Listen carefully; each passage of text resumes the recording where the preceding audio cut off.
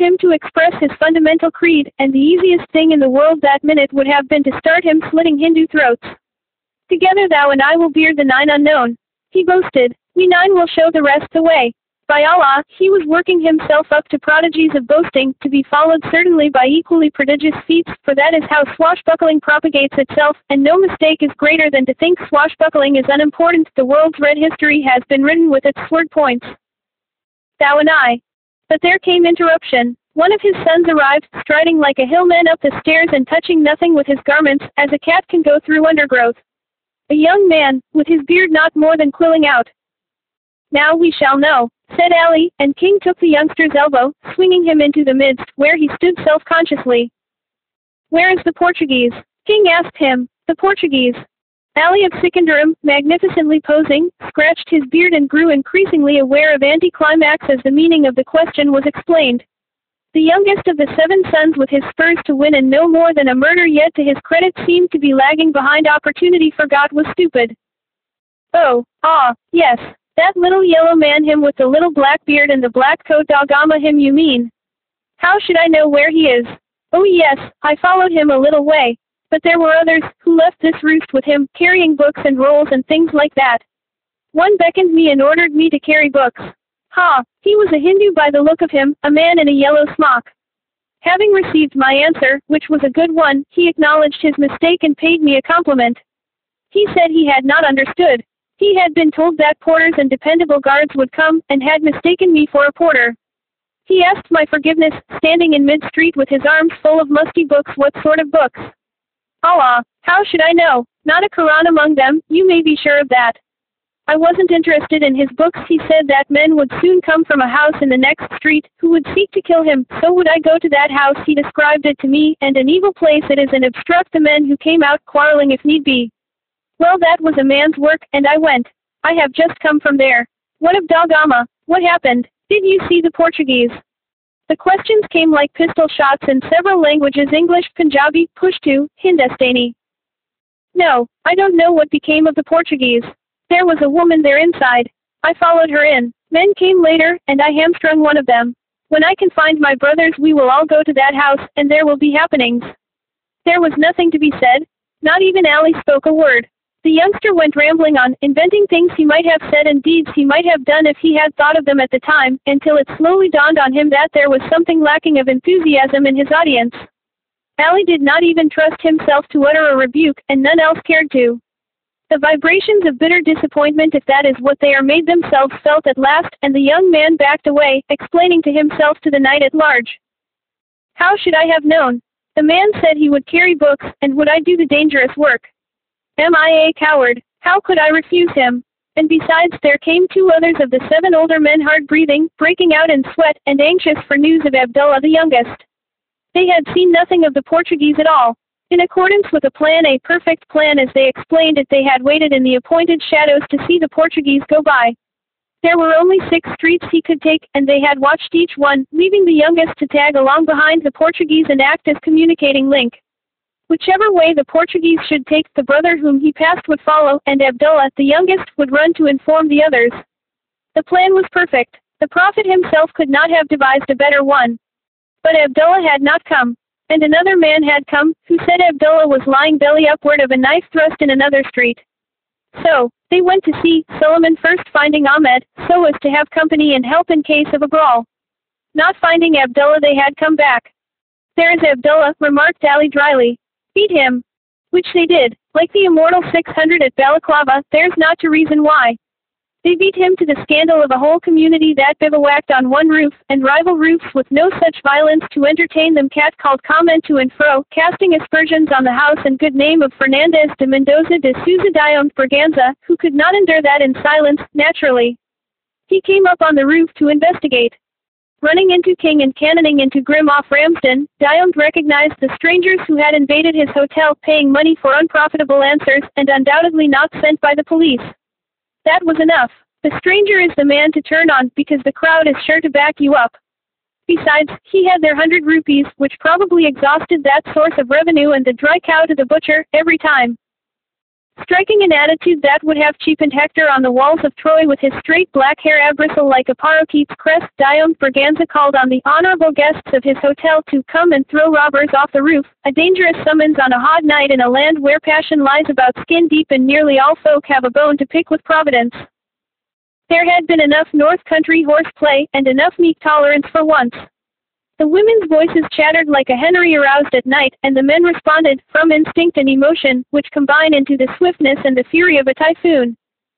I am your servant. I have tried to make you comfortable. These ruffians are too many for me. Shouted Diomed. Come and help me, noblemen my guests. They came with a rush, the nearest hesitating under cover of the flapping sheets until they saw and felt pressure behind them and the dam went down, not in a tide of courage but of anger with the racial rage on top, which is the swiftest of all, and the fiercest. That was no time to argue. Ramsden took Diomed by thigh and shoulder, raised him overhead, and hurled him screaming and kicking into the thick of the assault to create a diversion if the half-breed had it in him. And he hadn't. He had shot his bolt and served his minute. Three or four went down under his impact, but the rest ignored him as the spade screams passed an obstacle. And there were knives, clubs, things thrown. Over and through and under all the noise there was a penetrating voice that prodded at the seat of anger. They are spies. They are government agents. Bande Mataram, asterisk, asterisk, Hail Motherland. The slogan of the Indian nationalist. Ramsden held the stairhead for the others to back down one by one, King dragging Ali Ben Ali by wrist and neck to keep him from using his Khyber knife that according to his own account of it had leapt from the sheath unbidden. Ali was not the first, at that, to blame his true reactions onto untrue circumstance. And even so, King only held him as you hold a hound in leash, until the moment which occurred when Grim and Jeremy fell backward down the stairs together, struck by a bed hurled at random, wooden frame and loose, complaining springs that word like the devil in action. King dodged to avoid the thing, and Ali cut loose to uphold the testy honor of Sikandaram. So there was a scrimmage for a minute at the stairhead that beat football, Grim and Jeremy returning, forcing their way upward to stand with their friends, and the others all in one another's way as each insisted on retreating last and all except Ali helped to plug the narrow exit. They had Ali's sons in the midst of them, for precaution, but that arrangement did not last long. Ali's Khyber knife was wickering and working in the dark a stride or two ahead, and someone reached Ali with a long stick drawing blood. Ali yelled not a call for help exactly, yet the same thing, Akbar. Allahu Akbar, the challenging, unanswerable battle yell of Islam, naming two truths, one implied that God is great, and that the witness of it means to die there fighting. Might as well have tried to hold a typhoon then as Ali's three sons. There was one who had been beaten, with his pride, all raw, aspiring to be comforted in anybody's blood. He broke first, but the other two were only a fraction of a second after him, and there was a fight joined in the dark a dozen feet ahead, where men hurled broken lanterns, bed legs, copper cooking pots, friend hitting friend where a fool with a whistling chain lashed right and left and answering the Akbar. Akbar, Allahu Akbar, of Sikandaram there rose and fell the Bande Mataram, of someone prodding Sikh and Hindu passion. Hail motherland, you can stir the lees of almost any crowd with that cry. Thought of retreat had to go to the winds as King, Grim, Ramsden and Jeremy hurled themselves into the fray to disentangle Ali and his illegitimates, if possible as all things, of course, are possible to men whose guts are in the right place. Possible, but not so easy. It was dark, for one thing, all the lamps were smashed that had not been extinguished by the women, and Ali had deliberately struck to kill at least a dozen times, using the quick, upturning thrust that lets a victim's bowels out. There was blood in quantity that made the foot slip on the roof and, though it was impossible to see how many he had hit and his own count of a hundred was ridiculous there was no doubt of the rage for retaliation.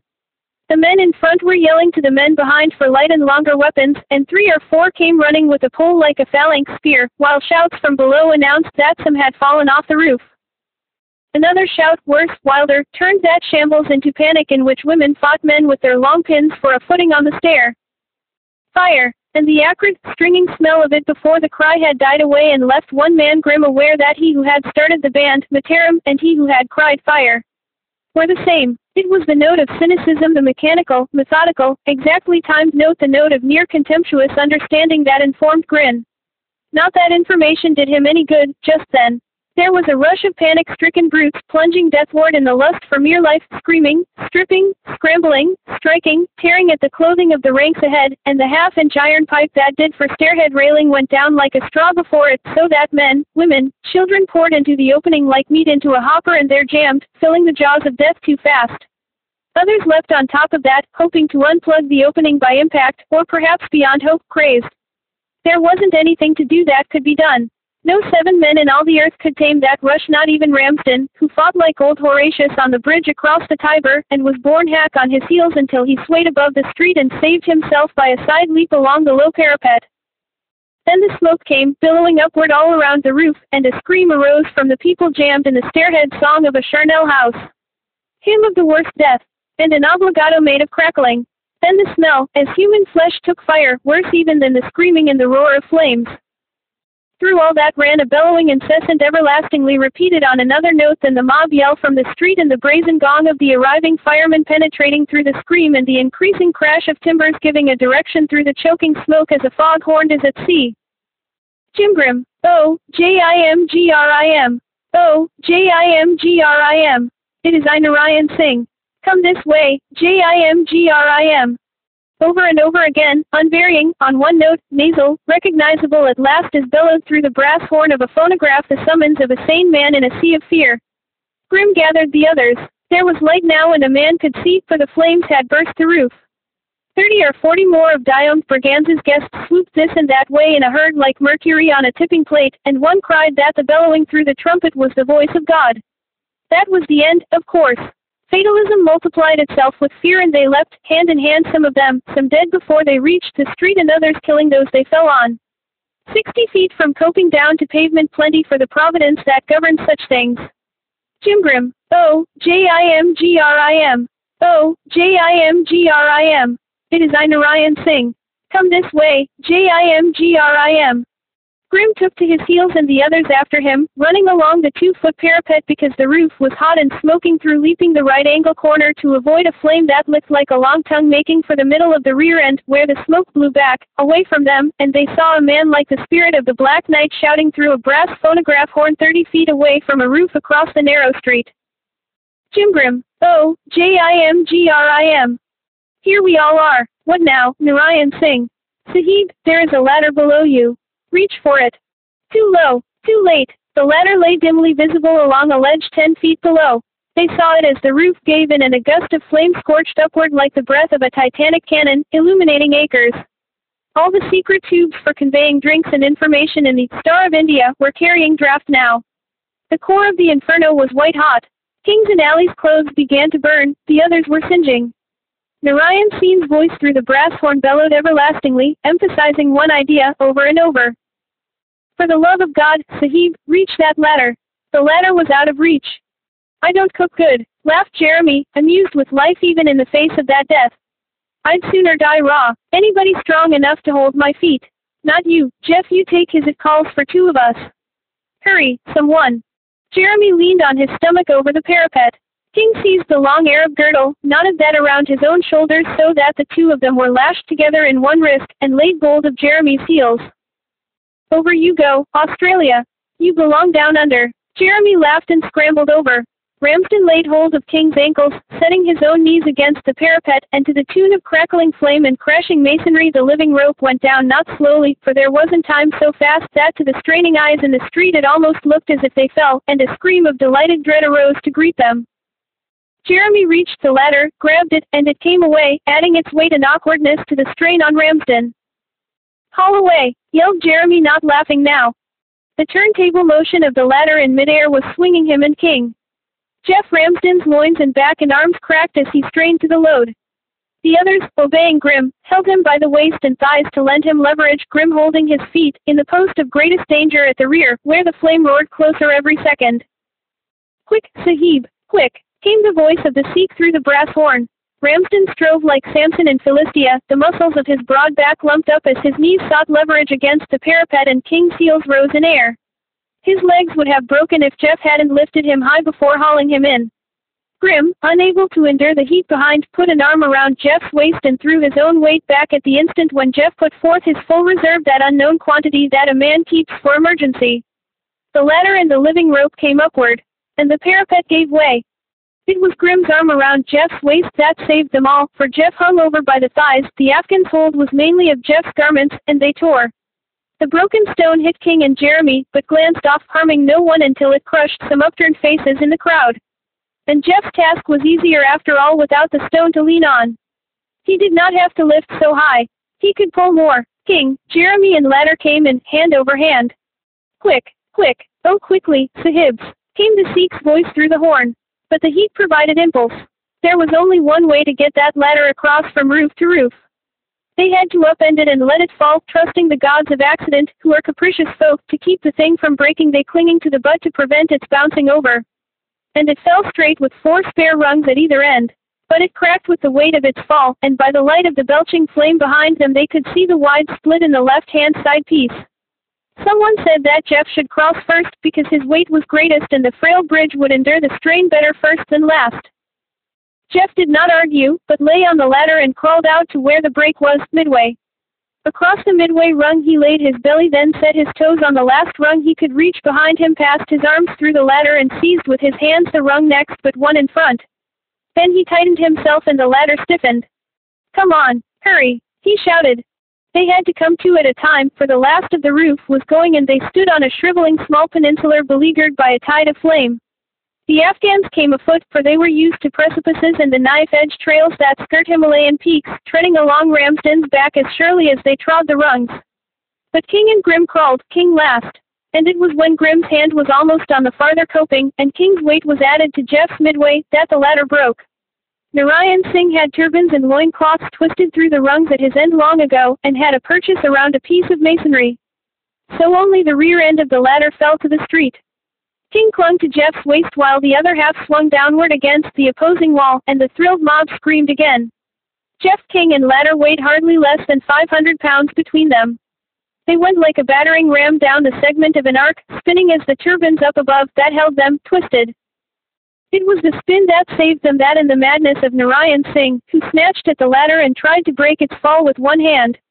Both circumstances added to the fact that the ladder broke unevenly, caused it to swing leftward. It crashed into the wall, but broke again above Jeff's hands, and catapulted both men through the glass of a warehouse window, where Narayan Singh discovered them presently laughing among bales of merchandise. They shouldn't have laughed. There were more than a hundred human beings roasted in the building they had left. Maybe they laughed at the unsportsmanship of Providence. Narayan Singh was deadly serious, though unexpectedly. I watched the Portuguese. Sahibs. I thought these seven sons are not the princes of perfection they are said to be. They made a plan in that whispering gallery that you just left. But I kept my own counsel. I followed the Portuguese. I know where he went. The Portuguese has talked. The nine unknown are aware of danger. You are spied on. They knew you would come to this place. Someone in their pay set fire to the hotel and said you did it.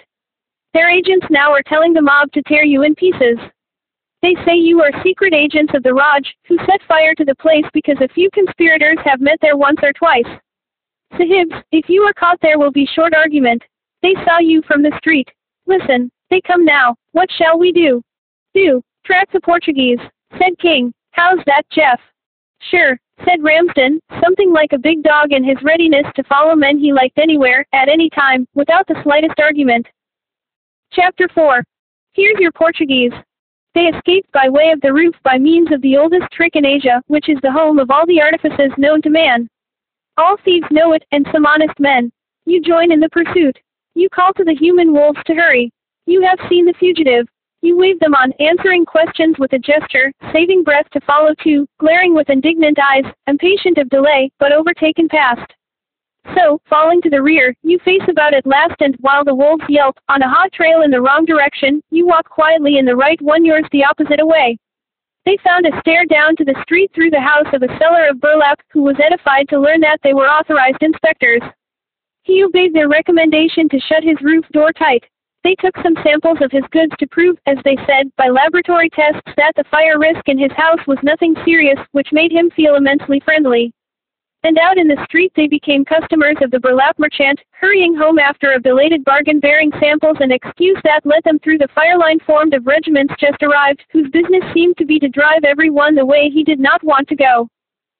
So presently, behind the drawn-up regiments, they threaded a thinning crowd toward the north, leaving the tumult and the honking motor horns behind. The streets grew dimly lighted and mysterious, to Jeremy's enormous joy. His passion is pursuit of everything unconventional, they strode down echoing alleys where no European ever goes, unless there is a murder or a riot too high tension for the regular police. They stopped and ate awful food in a place where sunlight never penetrated, drinking alongside surly ruffians, who sat on their knives in order to keep conscious of them all the time. The way they took out by taverns out of which the stink of most abominable liquor oozed raw, reeking ullage with the King of England's portrait on a label on the bottle where women screamed obscenities and yelled in mockery of their own jokes places where the Portuguese had held his nightlife, and had not been loved. Time and again Narayan Singh, with a sheepskin coat hung loosely on his shoulder as a shield, peered into a den sometimes opium, sometimes drink was the reek that greeted him to inquire whether the Portuguese had headed back that way by any chance. Invariably he was cursed, and certain gods were thanked, by way of answer. One could gather that Da Gama was not liked even relatively in the places he frequented. Narayan Singh, full of his office of guide, and proud of his accomplishment in having found and blazed Da Gama's trail, visited every haunt the Portuguese frequented, talking between whiles.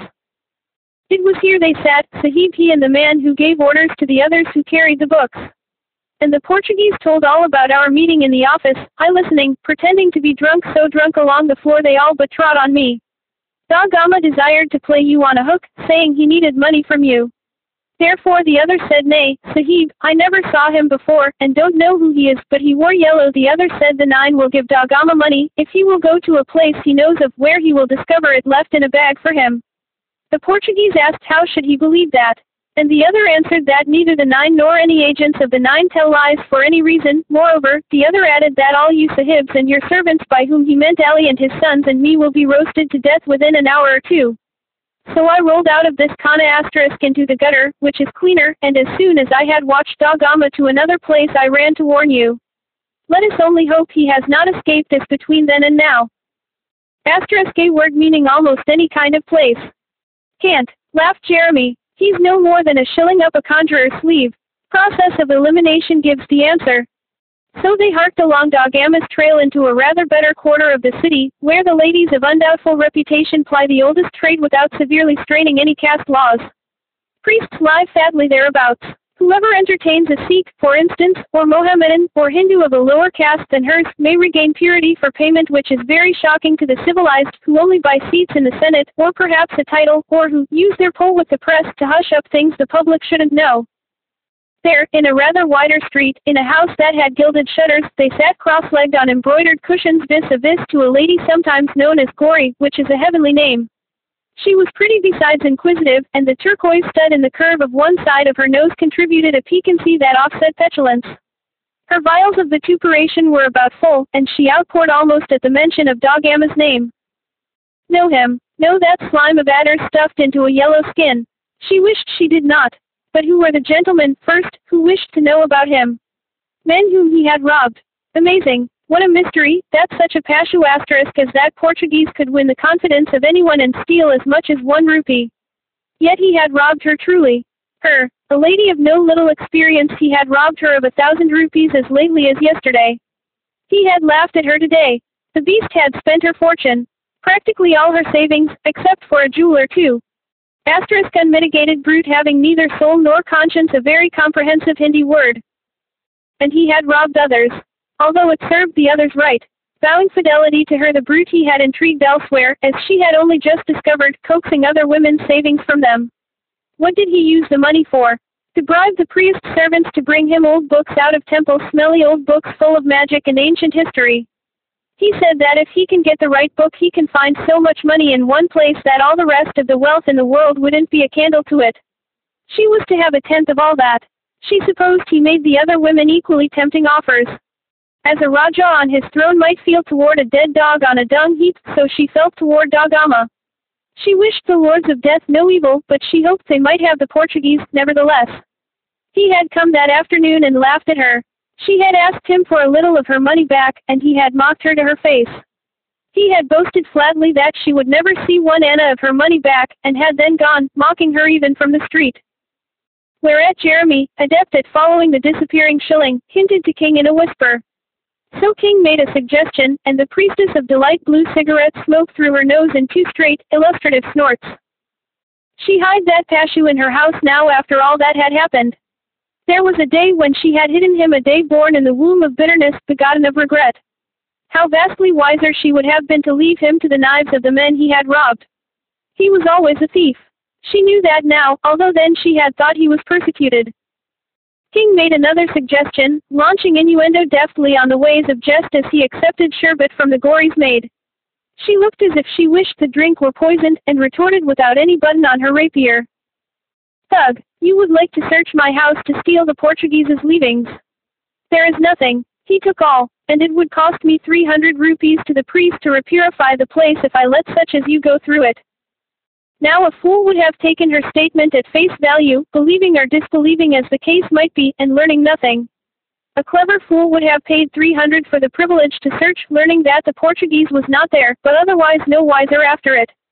Wisdom, yoked up with experience, paid attention to the price she quoted and, not liking to be cheated, doubled the price and made a game of it. For, although all cheat him who buys, and some cheat the gambler, the odds against the gambler are so raised already by the gods that some folk let it go at that. 300 for the priest. I'll bet 600 you don't know where the Portuguese is now. Said King. Her eyes snapped. Tell for less than a thousand. She retorted scornfully. I am not a spy. But I am a gambler, King answered. I offered to bet. I will bet you 500 you don't know where Da Gama is this minute. You said 600. Now I bet 5. In a minute I reduce my stake to 4. Next minute 3, I have no money to bet with, she answered. Da Gama has it all. Yet, if you were betting on a certainty you wouldn't lose, so you could afford to stake your jewelry, King answered. I will bet 500 rupees against that necklace of pearls that you can't tell me where the Portuguese is. Who would hold the stakes? She asked hesitating. That was a poser, but Ali of Sikandaram was ready for it. He drew forth his silver-hilted knife and made the blade ring on the floor. You hold them, he said, looking hard at her upwind, the way he was used to viewing the peaks of Sikandaram. If my friend wins, I come to claim the stakes. I am old in the ways of women, and I come with this in my right hand. Only if you win you keep the stakes. She judged his eyes, and understood, and nodded. King laid on the carpet five 100 rupee notes. She laid her necklace opposite. Ali of Sikandaram raked all the lot together with the point of his weapon and then pushed them toward her. She put on the necklace and folded the notes. I could send my maid, she said. The place is indescribable. But the maid of any such mistress as Gauri is more untrustworthy than treachery itself. Having nothing to lose, and the world before her, her eccentric trickery is guaranteed. I deal with principles. I bet with you, said King. I cannot go there. I am afraid to go there. It is too far, exclaimed Gauri. It was my maid, not I who followed him. She knows the way. I. Ali of Sikandaram ran a thumbnail down the keen edge of his knife, and Gauri shuddered, but it was Narayan Singh who voiced the right solution. He leaned over and touched the nearest of Ali's sons, who was daydreaming over the maid's delightfulness perhaps imagining her likeness in a Moslem paradise. Two horses, he commanded, instantly. The youngster came to with a start and glanced at his sire, who nodded. King produced money. Gauri claimed it. Let the owner of the horses send his bill to me. She insisted, and nearly enough to have bought two horses disappeared into a silken mystery between her breasts.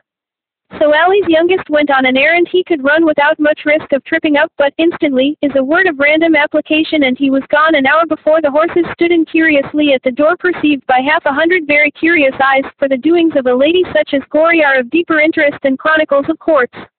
It was not until Ramsden came forth bulking like a Rajah's bully, and the others formed up like the riff-raff hirelings who attended to the unprintable pursuits of aristocracy, that the crowd went its way to imagine the rest and discuss it over betelnut or water pipes. Gauri ceased expostulating when it dawned on her that she would ride escorted by nine assorted footmen.